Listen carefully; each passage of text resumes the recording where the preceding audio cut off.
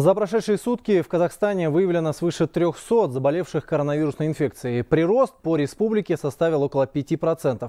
Больше всего новых инфицированных в Атырауской области. За 24 часа в регионе выявили 142 зараженных. С нами на связи Гульмира Сутубаева. Итак, э, Гульмира, рост больных значительный. Вот что в связи с этим намерены предпринять местные власти?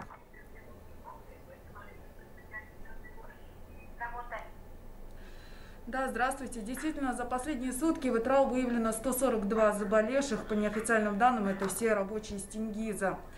Как это произошло и э, как сейчас себя чувствуют больные, об этом э, должен сообщить оперативный штаб, но пока информации никакой официальной нет.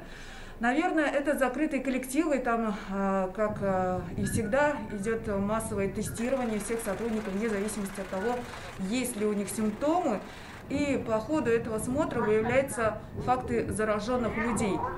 Это и дает значительный прирост в Атравской области. В настоящее время у нас есть и выздоровевшие люди, это более 170 человек.